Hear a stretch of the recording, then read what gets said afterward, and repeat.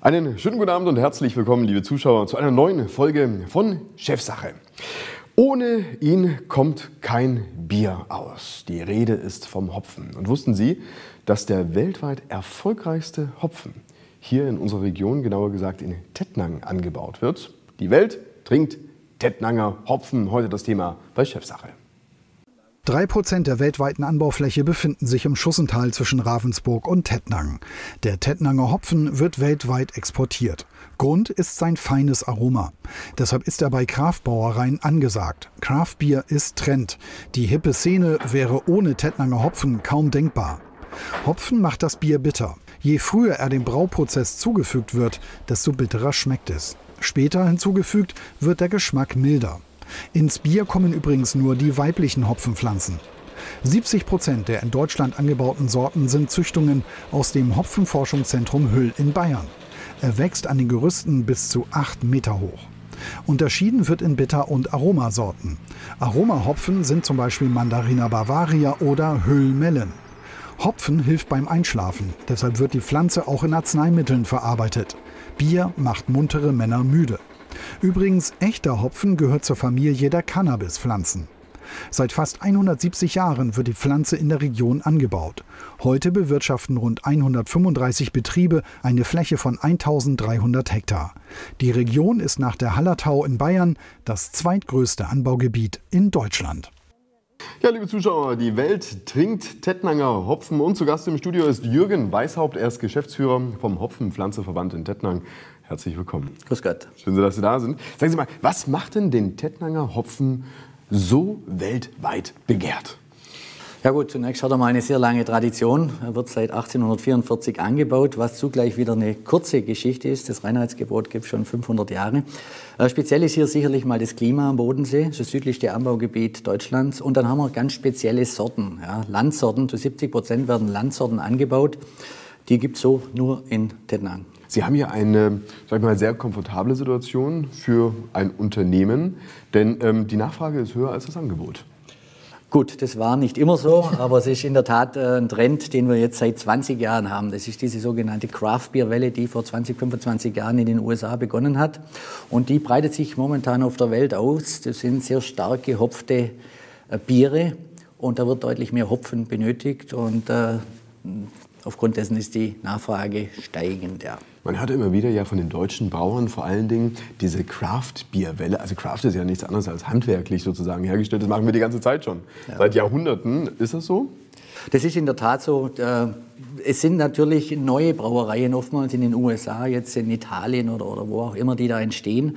Und äh, sie machen neue Bierstile. Ja. Wenn wir hier klassisch vielleicht so einen Exportweizenpilz haben, dann sind es dort eher IPAs, Ales, Seasonal Beers. Mhm. Und die sind einfach sehr spät gehopft mit, mit neuen Hopfensorten, mit neuen Aromaeindrücken.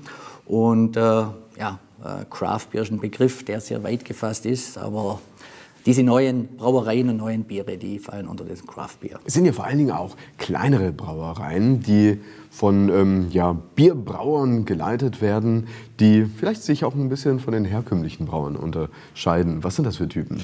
Ja, es ist, sind ein ganz anderer Typ von Brauer oftmals. In den USA oftmals kommen sie gar nicht aus dem Brauwesen heraus, haben das nicht gelernt, nicht studiert, aber haben diese Liebe zum Bierbrauen entdeckt, haben ganz klein angefangen und investieren jetzt in, in größere Brauereien. Sie leben das Bier, sie leben den Hopfen vor allem, diese neuen Aromaeindrücke.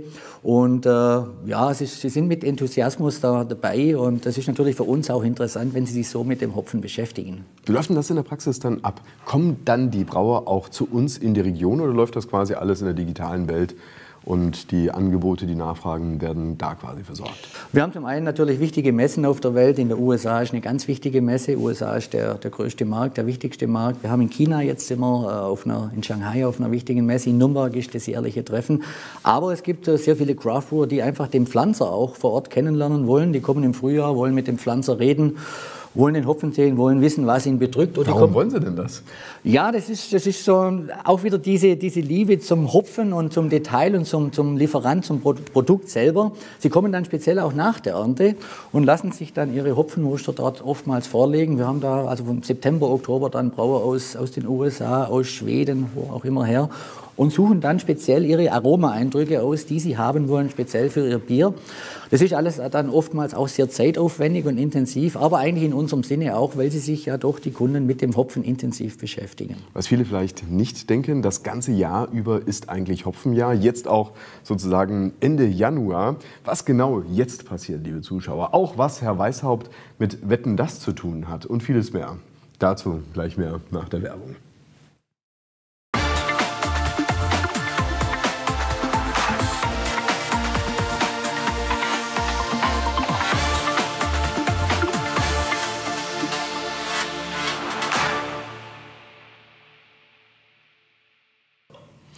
Und damit herzlich willkommen zurück, liebe Zuschauer bei Chefsache. Wir unterhalten uns heute über den Tettnanger Hopfen, denn dieser hat eine weltweite Bedeutung. In Tausenden von Bieren ist Hopfen aus unserer Region enthalten. Zu Gast im Studio ist Jürgen Weishaupt. Er ist Geschäftsführer vom Hopfenpflanzerverband in Tettnang. Der Hopfen ist beliebt. Man könnte meinen, eine Pflanze verändert sich an sich nicht, aber weit gefehlt, denn da tut sich jede Menge. Ja, das ist richtig. Äh, wir haben jetzt natürlich durch diese Craft Beer Welle auch sehr viele neue Sorten, die durch traditionelle Züchtung entstehen. Äh, ja, mit so Namen wie, wie Mandarina Bavaria oder Hüllmellen oder äh, Calista Ariana sind zwei ganz neue Sorten. Da kommen durch die Züchtung kommen neue Aromapeaks rein, also so, so leichte Aromaeindrücke von Himbeere, Zitrus, Aprikose. Das Bier schmeckt dann nicht danach, aber es gibt so eine ganz spezielle neue Richtung in das Bier. Mhm. Und so kann man die Vielfalt an Bieren eigentlich nochmals äh, ganz natürlich erweitern. Gibt es momentan einen bestimmten Trend, der gefragt wird bei den Bierbrauern?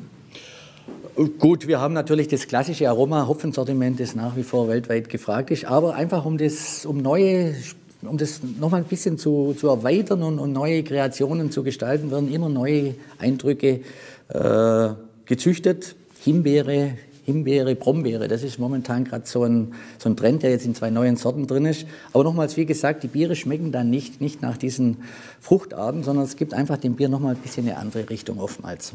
Jetzt befinden wir uns ja eigentlich mitten im Winter möchte ja an sich heißen, dass du jetzt draußen relativ wenig machen kannst. Und auch sonst müsste ja gar nicht so viel passieren. Ja, das Hopfenjahr ist so zweigeteilt. Vom Frühjahr bis Herbst ist natürlich der Hopfenpflanzer äh, voll bei der Arbeit. Dann im September wird geerntet, der Hopfen wird verpackt, kommt in die Verarbeitungswerke und dann beginnt eigentlich so die, die zweite äh, Saisonhälfte, möchte ich sagen. Vom Herbst bis zur neuen Ernte werden die Hopfen dann verarbeitet und gehen in alle Welt. Mhm.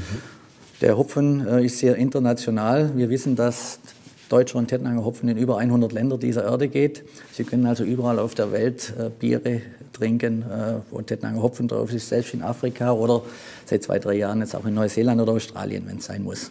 Die Hopfenbauern, haben die jetzt auch was zu tun? Ja, die Hopfenbauern machen jetzt die Gerüste. Also wenn man in Tettnang, äh, durch Tettnang fährt oder durch das Umland, werden neue Gerüstanlagen gebaut. Äh, alte erneuert, neue gebaut. Das ist eine äh, sehr komplexe Arbeit, oft auch gefährliche Arbeit, aber es werden die Gerüste für die neue Saison vorbereitet. Besteht denn eigentlich die Möglichkeit, auch zusätzliche Flächen anzubauen? Ja, da haben wir ein bisschen Probleme. Wir sind strukturell im Bodenseeraum natürlich sehr verdichtet. Äh, wir könnten wachsen, würden gern ein bisschen mehr äh, machen, aufgrund auch der guten Nachfrage. Äh, aber da gibt es so einige Dinge, die dagegen sprechen. Wir haben dieses Grünland-Umbruchverbot. Der Bodenseeraum ist, wie gesagt, sehr verdichtet einfach. Wir wachsen mit, aber wir würden gern ein bisschen mehr machen. Sie machen den Job jetzt schon seit 20 Jahren. Was macht für Sie persönlich den Reiz aus? Gut, ich bin auch auf dem Hopfenbaubetrieb aufgewachsen und da äh, gibt es schon den schönen Spruch, wen der Hopfen mal gekratzt hat, den lässt er nicht mehr los. Es war eigentlich schon diese Faszination für die Pflanze und auch dieses internationale Geschäft. Man hat einfach mit der Welt zu tun. Wie gesagt, äh, circa 80 Prozent jetzt hier auch des Tettlanger Hopfens wird exportiert. Man hat also mit Kunden weltweit zu tun. Und kein Hopfenjahr ist wie das andere. Also das macht die Sache schon spannend. Sie haben hier ganz erstaunliche Fähigkeiten, die Sie auch schon auch im Fernsehen unter Beweis gestellt haben. Eine ältere Geschichte, vor zehn Jahren ungefähr waren Sie mal bei Wetten das und wurden als Samenlauscher tituliert und wurden tatsächlich Wettkönig. Wenn Sie uns die Geschichte vielleicht noch kurz erzählen. Das ist tatsächlich so gewesen. Äh, die Sendung gibt es schon gar nicht mehr. Es war bei Wetten das. 2006 war das in Frankfurt damals, im Anschluss dann auch noch beim chinesischen Wetten das und da ging es in der Tat um solche äh, ja, Samentütchen, die im Frühjahr äh, gepflanzt werden und ich durfte da lauschen. Das heißt, Sie wurden dann geschüttelt und Sie konnten erkennen am Geräusch, was für ein Samen das ist. Ja, das waren so knapp 100 äh, Tütchen Ui. und durch das, nur durch das Schütteln mit verbundenen Augen musste man dann erraten, ob das dann Radieschen oder äh, Rettich oder was auch immer ist. Ja, äh, das war so eine Gag-Geschichte. Und Sie haben es erraten und wurden Wettkönig? Wurde Wettkönig und äh, ja, war, war eine witzige Geschichte. Was wünschen Sie sich abschließend für das Hopfenjahr 2017? Ja, äh, zunächst einmal für, für den Hopfenpflanzer ist es wichtig, dass es kein Unwetterjahr gibt. Also immer wieder, das Klima wird extremer, kein Hagel, keine Trockenperioden. Dann gibt es einen guten Jahrgang, gute Inhaltsstoffe und natürlich, dass der Bierkonsum, der Bierabsatz, dass der auch ein bisschen wächst. Der stagniert seit Jahren. Das wäre so mal beruflich der Wunsch für 2017. Heißt, man trägt natürlich selbst auch dazu bei. Ja, man bemüht sich. Alles klar, herzlichen Dank für das Gespräch. Herr Weißhaupt, schön, dass Sie hier waren bei Chefsache. Vielen Dank für die Einladung. Liebe Zuschauer, das war's wieder soweit bei Chefsache. Es würde mich freuen, wenn Sie in einer Woche wieder einschalten. Bis dahin Ihnen alles Gute. Tschüss.